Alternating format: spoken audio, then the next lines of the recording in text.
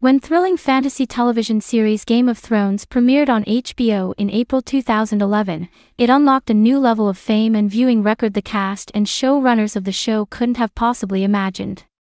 For eight seasons, viewers couldn't get enough of everything Game of Thrones from its story, production value, costuming, and its actors. Nothing felt undercooked in character development and execution as it felt like the stars were all made for their roles. One of these stars was Maisie Williams.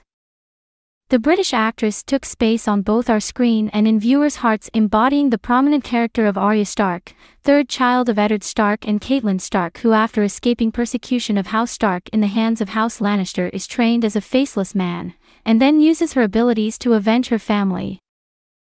Hey guys, welcome to my channel, please don't forget to like and subscribe and also click on the notification bell to remain updated.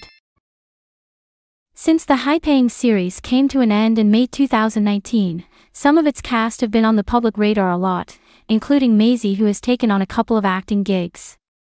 While acting, Williams has branched out and is thriving at other ventures. Number 1, Maisie Williams landed role in The New Mutants. Following fellow Game of Thrones star and close friend Sophie Turner landing a main role as Phoenix in the 2019 film Dark Phoenix from the X-Men film series, Maisie stepped into the X-Men world taking on the role of Rahini Sinclair in the 2020 superhero horror film The New Mutants.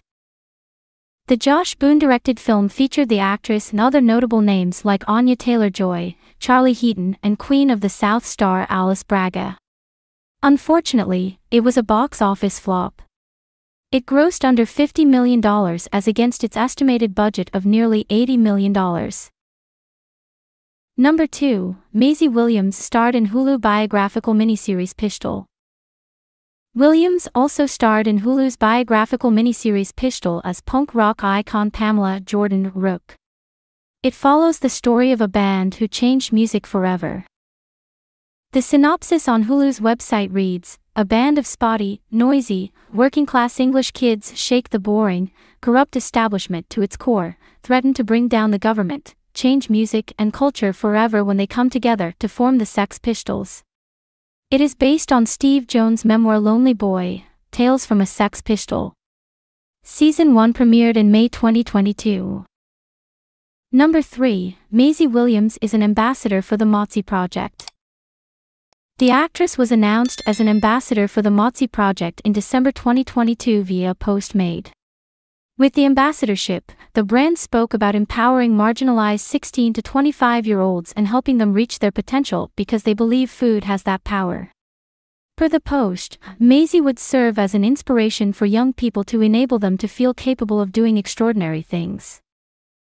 As to why she joined, Williams spoke about being a victim of food poverty as a child. The Motsi Project is a youth-led organization that empowers Bristol's disadvantaged young people through a meal box program that helps to support, nourish, and change lives. It is founded by Melanie Vaxivanakis. Number 4, Maisie Williams leads a production company for artists and creatives.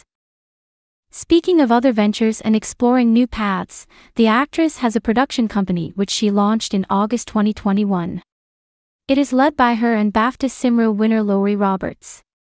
According to their website, Wrapped is a production company for artists, visionaries, and rule breakers.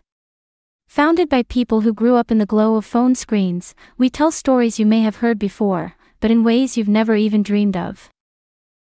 From a documentary to a music video and short films, the company has birthed some projects and are working towards more collaborations Maisie will add to her filmography as an executive producer and producer. Thanks for watching, please don't forget to like this video and drop comments.